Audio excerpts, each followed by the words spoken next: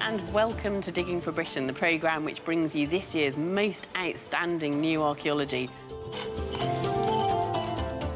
Once again, over the last year, archaeologists were busy unearthing our history in hundreds of digs across Britain.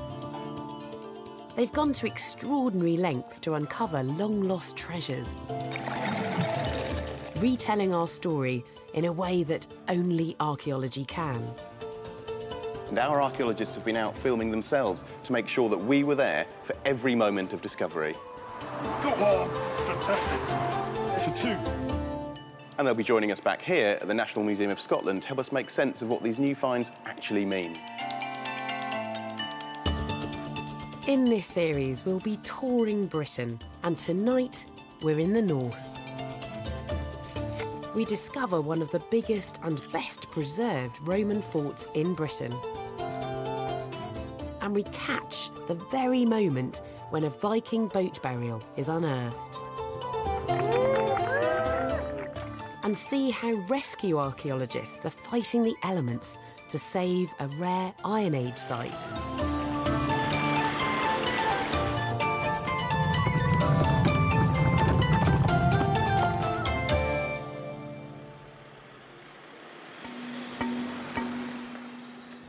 Over a million and a half people visit the National Museum of Scotland every year. They come to see some of the 20,000 artefacts that illustrate key moments in our history.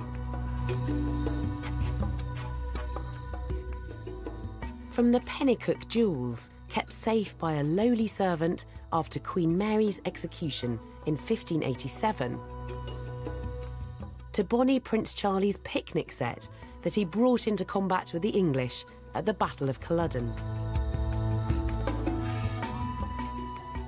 Our first story takes us to Orkney and to one of the northernmost digs in Britain.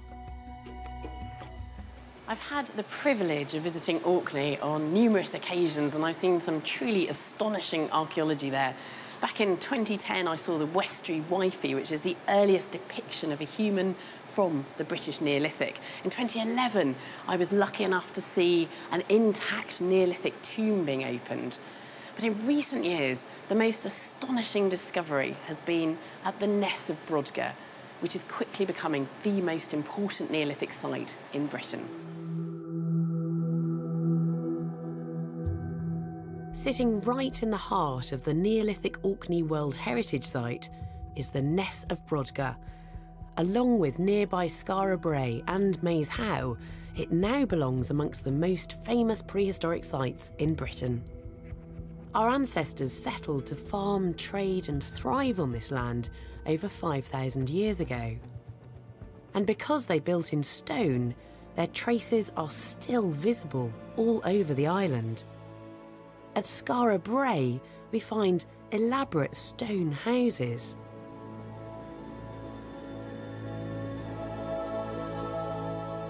And at Maes Howe sits a huge chambered tomb for the dead. But the Ness of Brodgar is becoming another vital piece in this Neolithic puzzle. It's offering unique insights into how our ancestors lived. The team filmed themselves in this, their eighth season, uncovering clues to the world of our ancestors 5,000 years ago. Some of the finds are quite prosaic.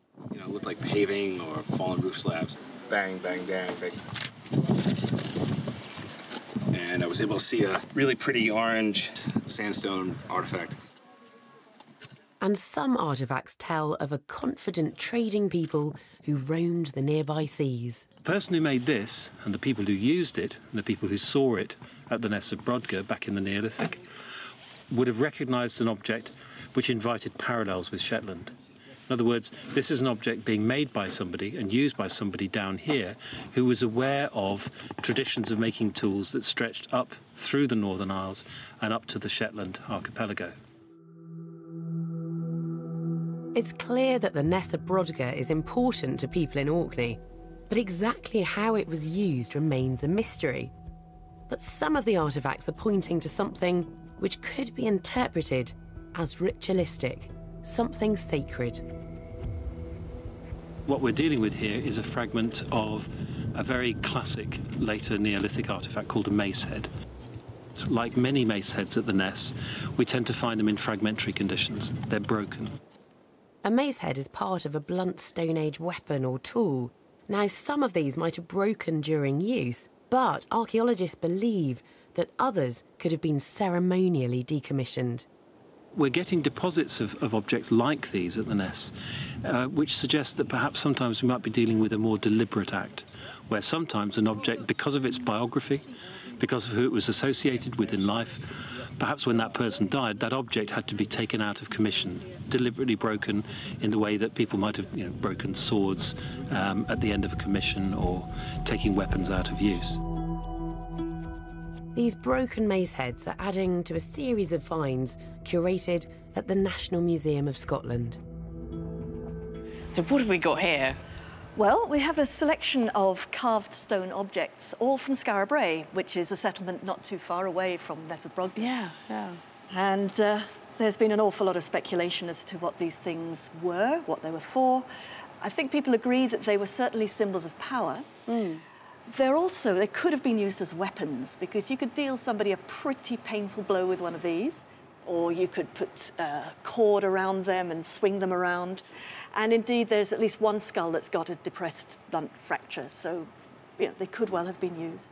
With something like this, you could keep it in your fist and deal somebody a horrible blow with a spiky point one of the things I really love about prehistory is finding objects like this, which are which is so intriguing and so enigmatic. And I don't think we'll ever really know what they were used for, but we can still really appreciate the art and the and the skill that went into making them. Oh, exactly.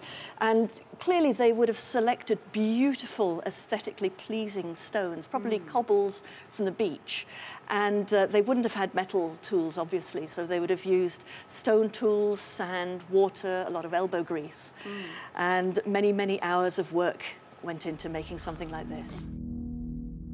These objects and the smashed pieces of stone maces from the Ness of Brodgar suggest that the Ness may have been a ritual site, and every day the team find more evidence. Here we've got um, quite a nice incised stone. You can see there's various lines crisscrossing each other here, forming kind of chevron, zigzags patterns here. And this is a kind of piece of Neolithic artwork that's been built into the main structure of the building. We're finding these sort of decorated stones built into all the walls, internally and externally, across the site. The archaeologists believe that this prehistoric artwork is further evidence that this was a ritual complex. And now Nick Card and his team believe that they have found the spiritual centre, a Neolithic temple. Here, we're standing next to Structure 10, the so called Neolithic Cathedral.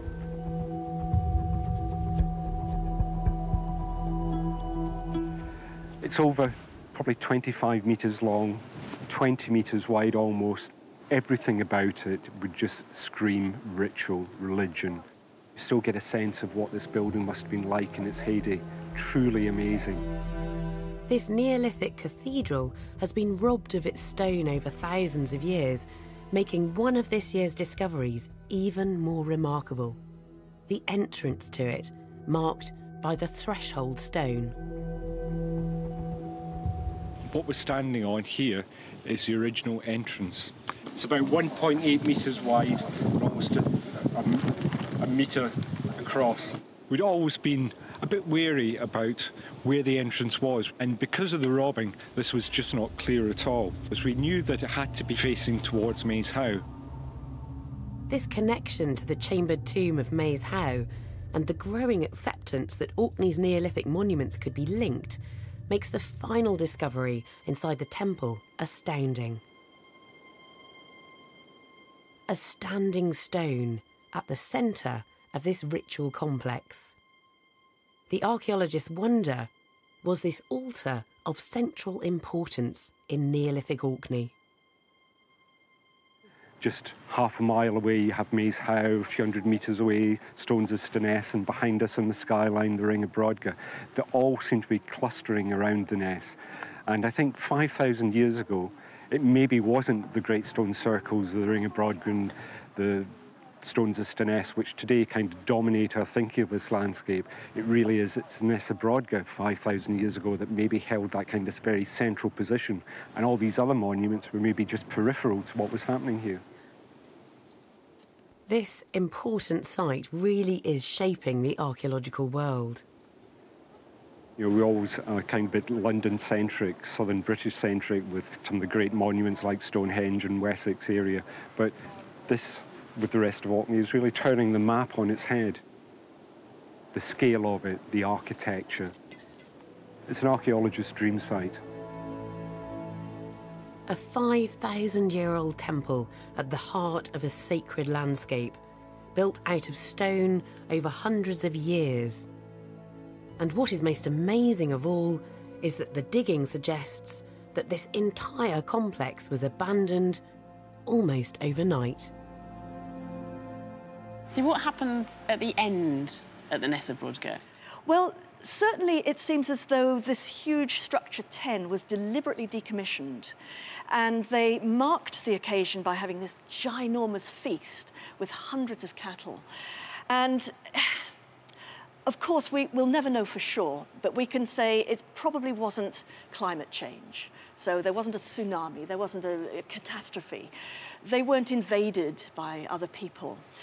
I suspect that they had engaged in this, this sort of spiral of increasing investment of effort so that by the time you've built Structure 10 and you've built the Ring of Brodgar, you've involved probably most of the population of Orkney.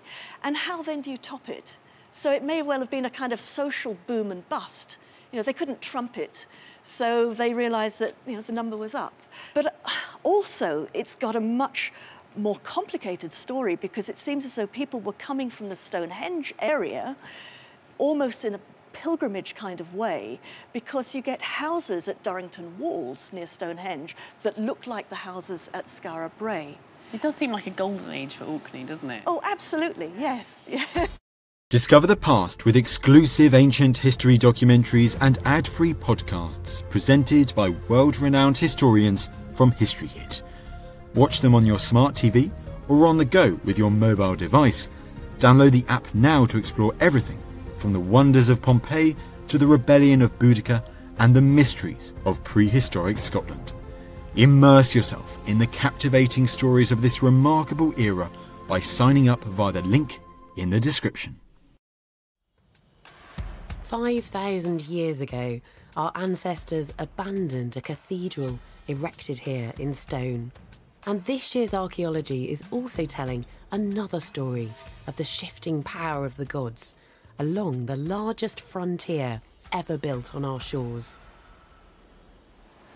One of the most obvious footprints of the Romans in Britain is, of course, Hadrian's Wall. Stretching from coast to coast, this 75 mile long wall divided the wilds of the north from the Romanised south.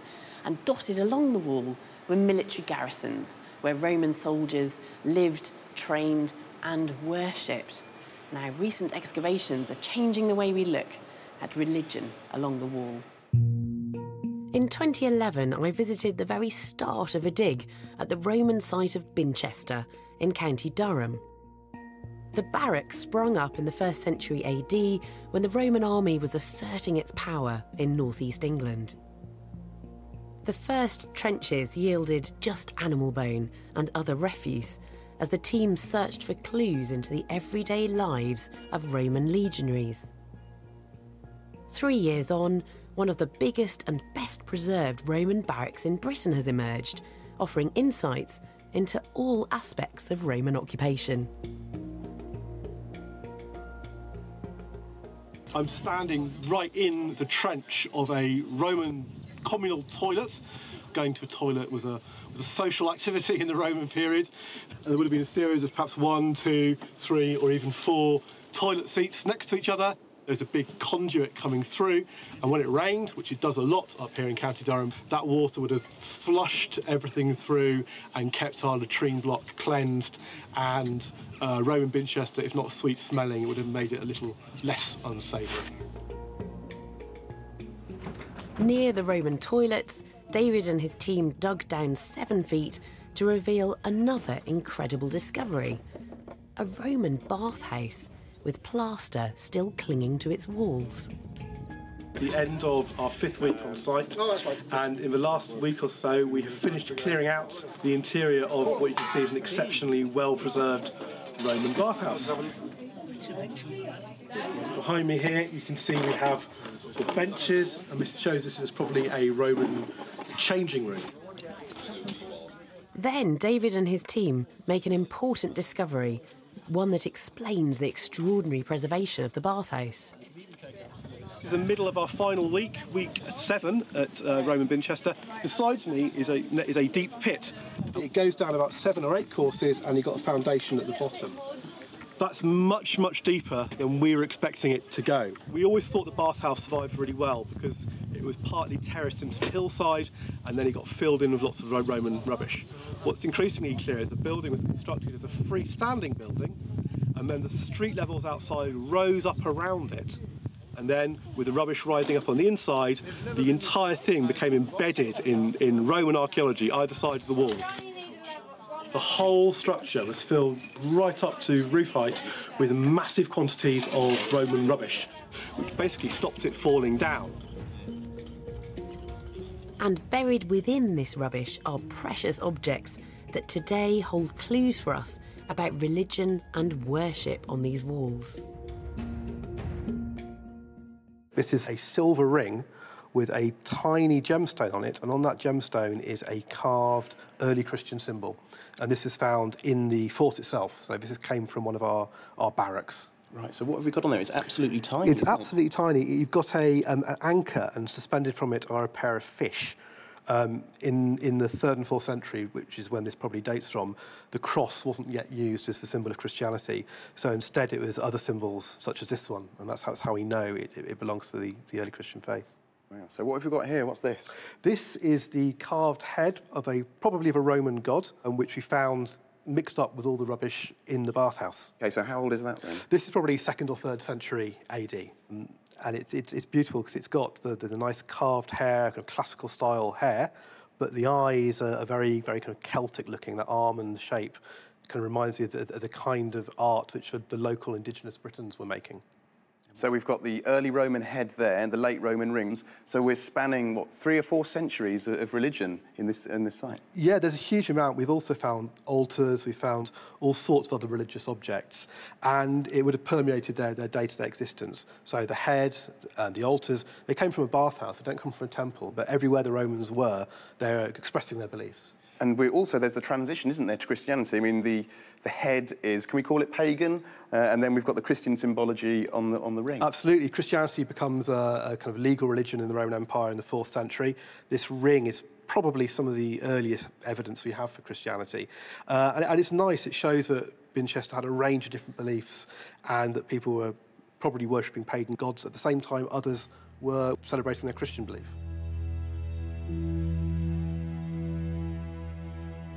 Almost a hundred miles along the wall, a team in Maryport has made another important discovery about shifting religious beliefs on the Romans' great frontier.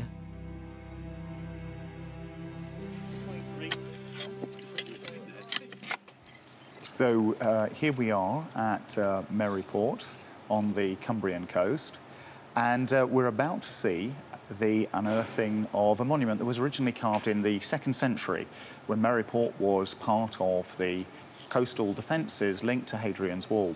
And you can see there some of my colleagues in action. That's the excellent Tony Wilmott, uh, the site director, one of and that's, Britain's... that's lovely. What, Isn't I mean, it what great? is that? Is that an altar? That is indeed an altar. Takes your breath away. We're going to get this uh, altar out now, see if it's complete. Um, I'm going to first of all uh, get these big stones out, and then uh, John's going to dive in and clean it up. So uh, get cracking. And how close was this site to the wall itself? Well, um, Maryport is actually part of the, the Cumbrian coastal complex. Um, so Hadrian actually extends the line of turrets and towers along the Cumbrian coast from Hadrian's Wall. Uh, so we're quite a way south of the actual wall.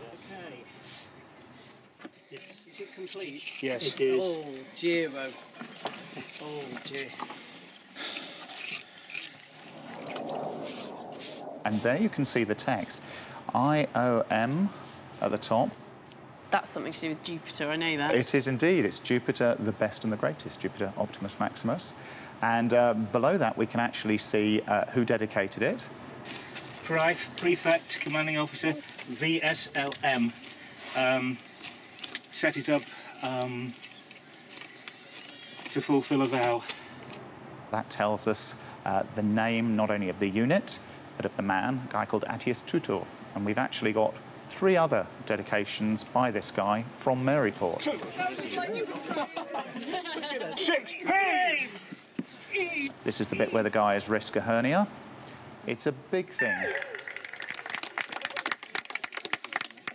Now all we've got to do is get it to the car, isn't it? oh, you're on your own. John Lasky, worthy of Mr. Hutton, isn't it? What can I say? Shattered. Yes. 25 years ago, when I started digging at Birdoswald, I said if anyone found an inscription, there was malt whisky in it. Right. John? Oh, thank. That's a fantastic find. And the inscription it just looks so crisp. It does look crisp, doesn't it? It does look crisp. And uh, that's uh, Cumbrian red sandstone for you. In fact, when we look at it very closely, you can see it has experienced some weathering. How many altars did you find there? We're actually nudging the total of known altar fragments from that site up to about 22, 23 now. Right. Yeah. So why are they buried in the ground then? For a long time, the assumption was that as these altars appeared so crisp, and as there were so many that were obviously dedicated in a very short space of time in the second century, often by the same named individual, well, the assumption was that each time a new altar was put up, the one that had been dedicated the year before was buried on the spot. So it was almost like they were being ritually buried. That was the make, explanation. Make room for the next one. To make room for the next one. But in fact, the Romans don't do things like that. we know now they don't do things like that. They were being buried much later. They are dug to support a massive timber structure on the site. So they were being used as foundations. They were being used for foundations, yes. So this is fascinating. Um, these Roman altars, then, which obviously had huge ritual significance to the people that, that, that made them and set them up, um, are just being used as foundation stones, as, as, objects of, of no ritual significance, really. Mm, not anymore. Uh, Jupiter is no longer the best and the greatest. There's a new landscape at Maryport. From abandoned Roman temples telling the death of an empire, we travel 160 miles south to find ancestors living in Britain just after the end of the Ice Age. One of my favourite prehistoric sites has to be Star Starcar in East Yorkshire. And we covered this site on a previous series of Digging for Britain, where I talked to Nicky Milner about the astonishing discoveries that she and her team were making. Now, this year, she's been excavating at a nearby site called Flixton Island, and this one goes back even earlier, back beyond 11,000 years ago. Day seven, and we're really excited because we're right on the edge of what would have been the lake, and we've just started finding some animal bones. Well, we've come down into the uh, the earliest peak. Uh, we've uh, come across what looks like to be horse bones. So we've got uh, a horse pelvis, half of the pelvis, and uh, a horse scapula as well, which is really fantastic to see the preservation of it, considering how old it is. This site dates back almost to the Ice Age. Organic finds from this era are practically unheard of, but Flixton is rewriting the record. 11,000 years ago, this land was an island used by Stone Age hunter gatherers. When the water that surrounded the island drained, the lake bed turned to peat, preserving vital clues to this lost world.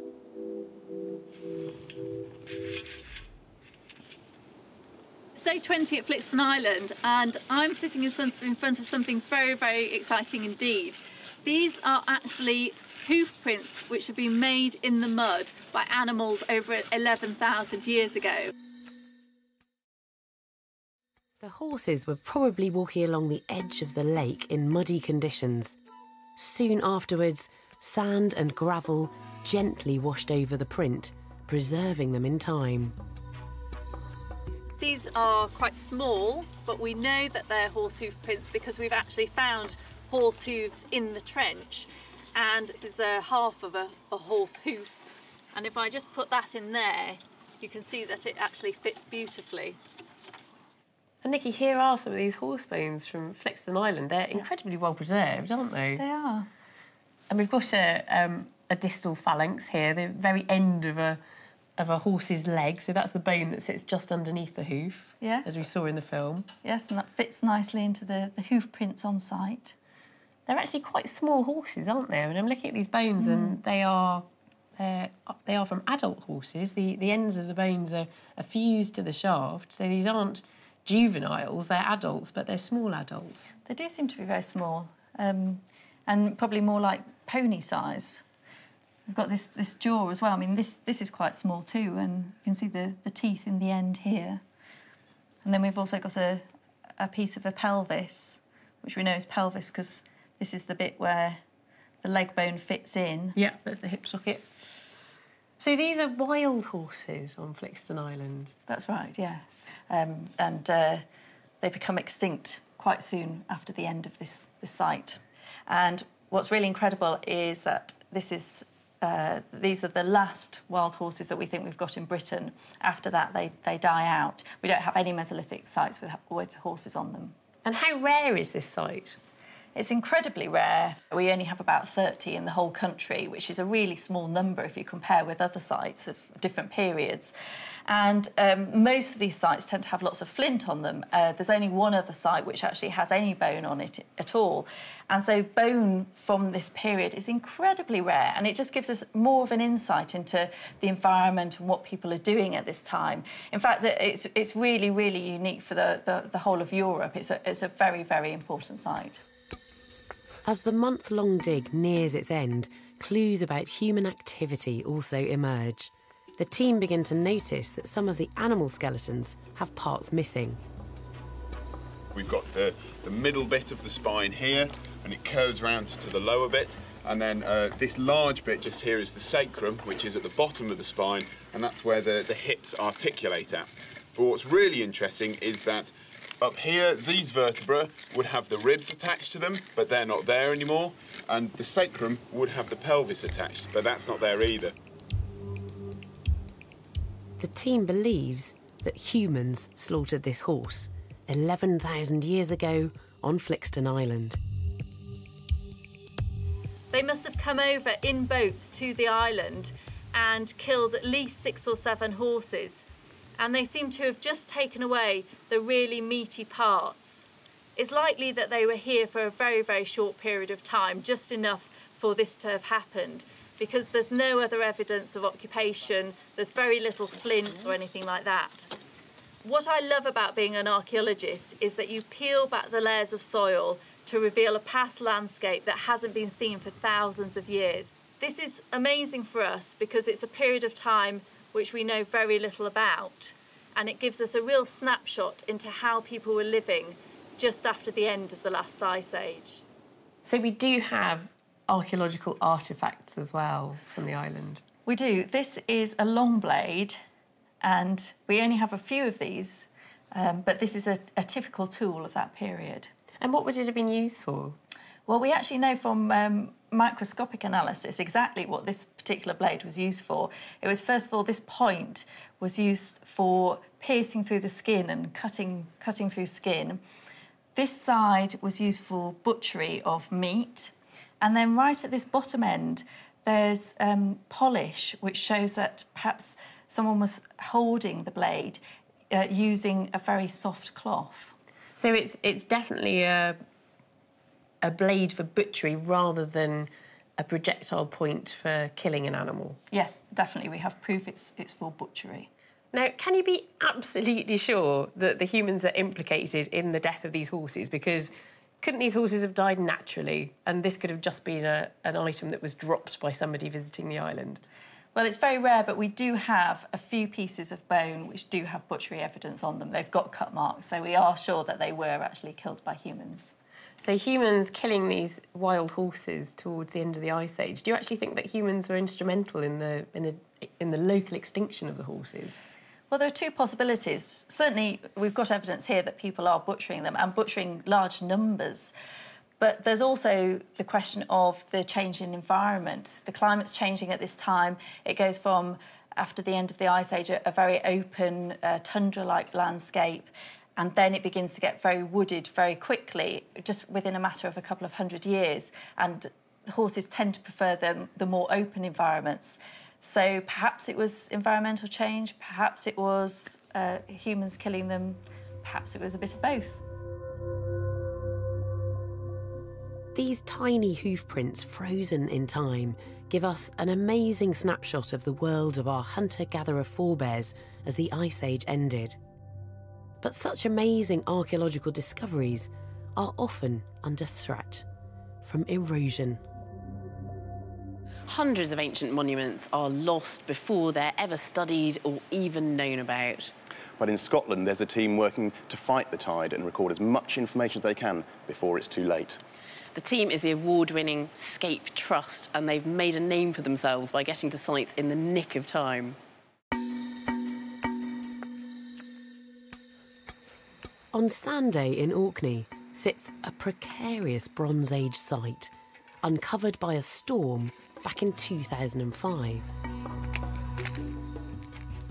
It's now in danger of being swallowed by the sea unless it can be rescued in time. Tom Dawson has a plan to save it. Uh, the site, unfortunately, is going to be lost to the sea at some point. We don't know exactly when, but it could be the next big storm which will take it away. So by moving the site and reconstructing it, we are saving something for people to come and look at so that they can share in uh, the exciting discoveries made by the Sanday Archaeology Group. The team embarks on a complete excavation, recording each detail for further research. During this process, one find takes them by complete surprise. A Bronze Age well covered by the bank. And we've just discovered that at the bottom they have actually cut into the bedrock. So the material you can see there is bedrock and they've made a large hole, built walls up on the sides, but they've just left the back as bedrock and then placed that lintel uh, spanning the two side walls. And there is a gap, which I can put my hand up between the bedrock and the wall. And presumably what happens is the water would run down the bedrock here and then fill up this chamber. This structure is an astonishing addition to the already impressive site. But being so close to the sea, it has little chance of survival. So the team carefully dismantles it for the move to the Heritage Centre. We've had great support from the local community in Sanday who've come out with their JCBs, their tractors and trailers, and everyone's mucking in and helping us to move the site from here several miles uh, to the other side of the island.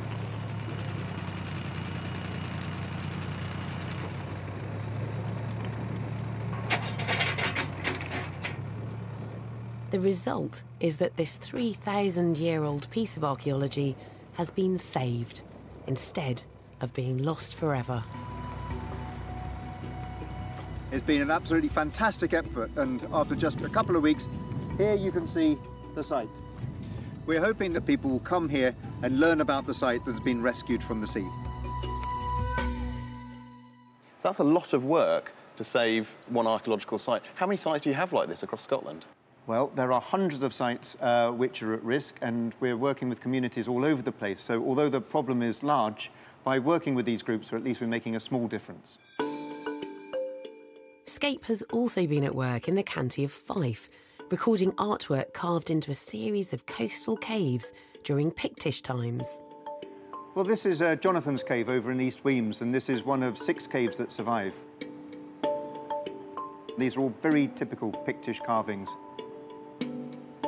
That was a leaping salmon. Not and a rocket, then? That's not a rocket, no. And this is a double disc and a trident. So if you've got Pictish engravings on the wall, when do those date to, do you know? Well, they're going to be probably somewhere between the 5th and the 8th century AD. And this is actually um, thought to be a Viking boat, and this might be one of the only representations of a Viking boat in Britain. So there are a lot of carvings in this cave. There is the largest collection of carvings anywhere in the United Kingdom, well, in fact, anywhere in the world. And here what we're doing is we're, we're, using both laser scanners and photographic techniques to make a 3D recording both of the caves and of the carvings themselves. Right, so there will be a permanent record of these carvings for all future researchers. There will be, and this is the, the most um, accurate record that's been made to date. This is sub-millimetre accuracy. That's fantastic. So are these engravings in this cave actually under threat? They are. They're under threat from a variety of things. There's not only people who go in and occasionally uh, write things on the cave walls. In the past, somebody set fire to a car in the caves, which caused a collapse. Uh, but also, we have the instability of the rock and also coastal erosion, of course, which there is the danger the sea will enter the caves at some point. So it's really important to create this record. And I think you've been up in the Outer Hebrides as well, haven't you, where the sea really is a problem? It really is, yes. We've been up in North Uist over uh, in the Outer Hebrides. The site have been reported by uh, local people who've been finding wooden objects, and these have now been dated thanks to the excavation to the Iron Age. Oh, you're right on the beach here. One of those little metre square test pits. This is an unusual way of digging, but we were trying to stop the sea from taking everything away, so the idea was that we could uh, backfill the test pits. This was a problem. The tide was covering the site twice a day, so we had to work fast. So you're you're basically working at low tide, and then you have to just get out That's at high right. tide. Yeah. And bail out. We had to bail out. So, so every day when we came down, the, the site would look like this, and there would be bailing the site out, and then we could carry on digging. But what was frustrating is the, is the speed with which the, the tide could come up. So you might be in the middle of doing your drawing, and then you'd have to abandon your trench. Yeah. Come back the next day, and it would have filled up with sand again. And then clean up again. Clean up again. Have you finished work there, or are you going back? We're hoping to go back in the future, but for the moment, we were, we were just trying to work out what might be there. I have to say, I love the Scape project. You seem to go from strength to strength, and I do follow you year on year. It's wonderful to see archaeologists working so closely with local communities and literally saving archaeology from being washed away. Rescue archaeology like this often turns up astonishing chance discoveries. But sometimes it's sheer persistence by archaeologists that pays off.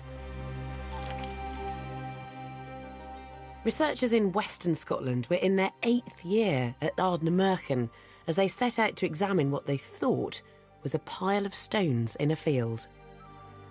They discovered something which had never been found before in mainland Britain an intact Viking boat burial. And they recorded the moment of excavation. And we're joined by Hannah Cobb, who's one of the directors of the excavation out there on the Ardnamurchan Peninsula. Hannah, talk us through your dig. Initially, we thought it was perhaps a clearance can from, from farming. The moment we took the turf off, it was a boat shape, and we felt nervous. We didn't want to say to ourselves, this is a Viking boat burial, but we excavated it very slowly, carefully. This is the point where we lifted the axe, taking it as carefully and getting it in there as securely as possible. But everyone was crowded round and everyone was quite excited to see, so it was a lovely moment for the team. Well done, guys. That's another round of applause. And at that point, you knew it was a, a boat burial that you were looking at. Yeah, and as we got down through the layers, we began to find the artefacts and the fact that it was very clearly a boat shape. Wonderful, aren't they? Wow. So there's that axe head. There it is. It's amazing, and it's actually got the um, some of the wood uh, from the the handle that it would have been on uh, still preserved within it. Just tell us about the sword. The sword is fantastic. It's it's actually broken, but it wasn't broken when it was put into the grave. It's broken subsequently because of sort of all the, the things that happen to, to artifacts when they're in the soil. But it's made up of some amazing material. It's got uh, part of a sheath on it, and then on top of that, it's actually got this textile adhered on the outside of it. Oh, that's which is- amazing. it's really amazing. All the way down there, you can see the detail. Oh my goodness, could that be the, the clothing of the Viking himself then? It certainly could, and the way it was laid out within the, the burial, it was uh, against the side of the Viking, so probably pressed against either his clothes or, or her clothes or the material that was wrapped around them in death. It was a proper traditional Viking burial then, it, in, inside a boat. Yes, yes, and uh, unfortunately, in this case, the wood from the boat wasn't particularly preserved, but all of the rivets of the boat, so over over 200 rivets from the boat, were all preserved. So, did you have any skeletal remains associated with this? The, unfortunately, the, the preservation of the artefacts is amazing, and the preservation of the human remains was very poor. So we just had two teeth, but we've been able to get lots of information from the teeth because we've been able to uh, do stable isotope analysis of them. Which oh, brilliant! So, so if you've done isotope analysis, do you know where this person grew up? Was somewhere north, further north than here, potentially Norway. So potentially an actual Viking. Yes, yes, from indeed. Scandinavia. Yes. Yeah. But what was it about this site that made the Vikings choose to bury their chieftain here? The team have been working on this peninsula for eight years now and have identified a pattern of burials spanning five millennia. First, they excavated a Neolithic chambered cairn. Then they found evidence of a Bronze Age kist. They believe the Vikings chose to be associated with these ancient burial sites. As well as excavating the Viking boat burial, the team are also investigating the cairn and the Bronze Age kist. It's day one on the Ardnamurchan Transition Project and we're doing an amazing job at deturfing an enormous trench. And who knows what it's going to be? There's bits coming out that might look a bit curby. There's bits coming out that look like cairn material. That's what we're expecting, but when it's from, who knows? The piled rocks of the Neolithic cairn are familiar to the archaeologists, but the Bronze Age kist contains something very surprising. Crawling into the excavation tent. Yeah. What we've got here essentially, we've just got a long bone coming up there. Wow. Long bone coming down there. So we think that's the foot's not really coming up, so it might have just deteriorated. Essentially knee up here, we think, and that kind of mushy stuff that's kind of broken off a bit. Probably the pelvis. And the skull fragments are coming up somewhere in here, so it's kind of kind of So fetal almost. Yeah, yeah, crouched, kind of fetal information. Wow. Individual crouch burials in stone lined kists were common in the Bronze Age. But after further examination, the researchers conclude that this kist contains the remains of at least two people, and this is very rare. The Viking boat burial, the Bronze Age kist, right next to a Neolithic burial chamber, means people have been bringing their dead to this bay for over five millennia.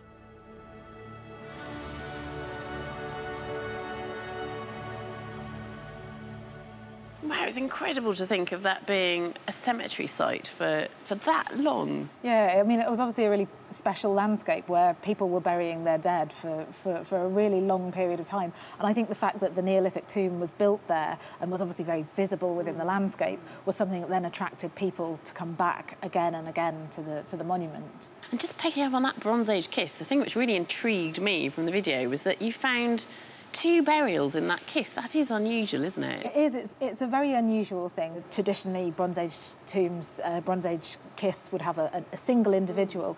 Um, and, and this wasn't just uh, two people crouched, as you would also expect in the Bronze Age, but it was sort of uh, uh, disarticulated human remains, so bits of bodies mixed up. Potentially, people were recalling the practices that had occurred at this Neolithic tomb.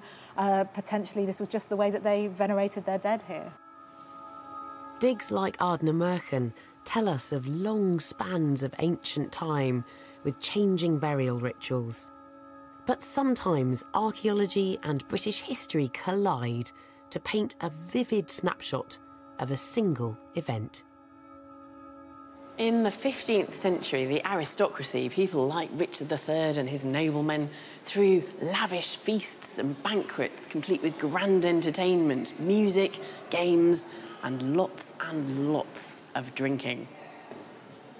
A dig in North Yorkshire has uncovered a feasting hall from this period with evidence of revelry on an epic scale. But they've also discovered how one night the feasting and laughter came to a very abrupt end. For the last five years, a team of volunteers has been digging on the former estate of Sir John Conyers, a 15th century nobleman.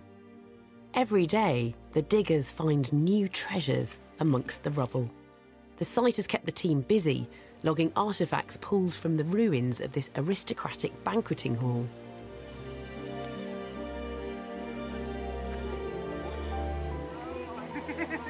You found it. Well done. Part of a latch, either from a door or from a big piece of furniture like a chest.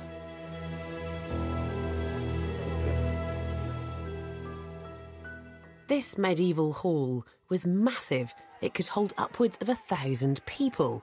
And in this hall, the powerful and influential met, the movers and shakers of the day. It was here that Conyers rubbed shoulders with King Edward IV and Richard III. This is a site where the important decisions on political power in England in the mid 15th century, the 1460s, the 1470s are made.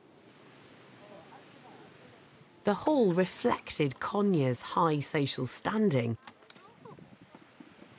And as the team dig further, they find artefacts left over from the lavish banquets that were thrown here. There you go, thank you. It appears to be part of a, a, serving dish, either a meat panchion or a, what's known as a dripping pan, which was used to serve sizzling meat dishes at the table. So we've got a bit of food bone. By the size of it, it's a hunted species. We found a lot of evidence of uh, people eating venison and boar, but sometimes other exotic species.